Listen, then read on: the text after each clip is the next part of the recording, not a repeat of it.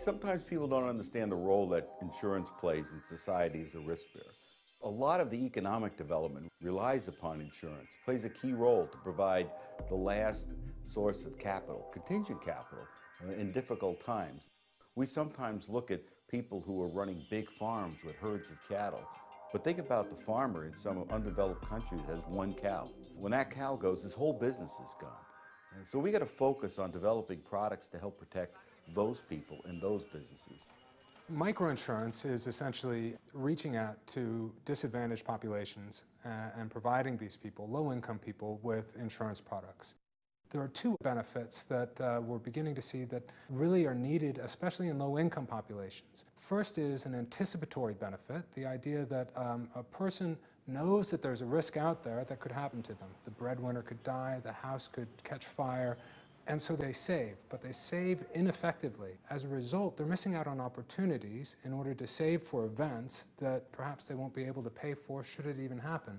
Insurance is built in order to deal with those events, and so microinsurance is one way of unlocking that capital that is being inefficiently used. The other one is low-income people live in, in neighborhoods and areas that don't have particularly good services. Insurance can aggregate the total value of all of these people that live in the neighborhoods and then bring that to produce better services for the populations there. So I'll sometimes say that a fire extinguisher is a great example of an insurance policy because if a fire happens, it's exactly what you want to have and you know exactly how to use it. Our insurance policies, our microinsurance policies, have to be that simple and that obvious. People have a misconception about this not being a money-making opportunity, that it's just some kind of giveaway program. If it's just a giveaway program, it's not going to succeed over the long term.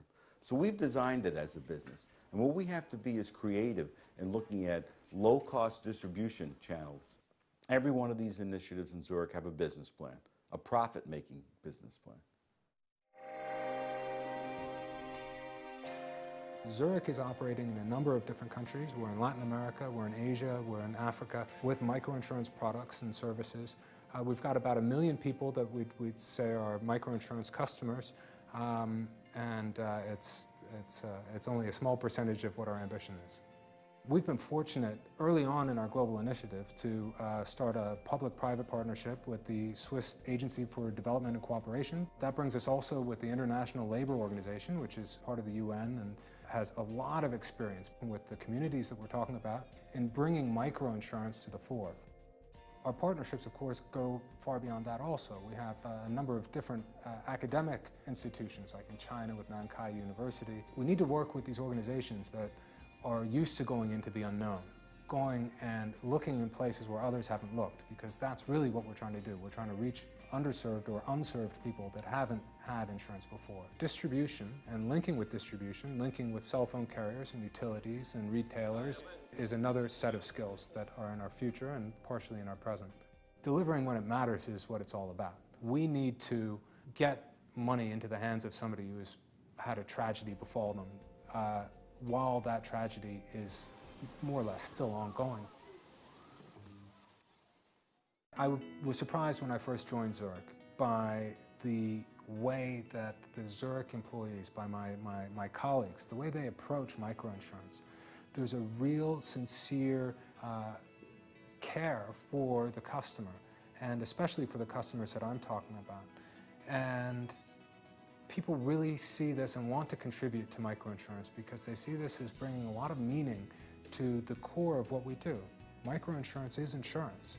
It's insurance for low-income people, and it's something that can really improve people's lives. We got to help these people, particularly people in economies that are emerging today, where people for the first time are having assets uh, of their own, having income streams of their own. How do we get those people the kinds of protection that they need to balance the risks that they take every day?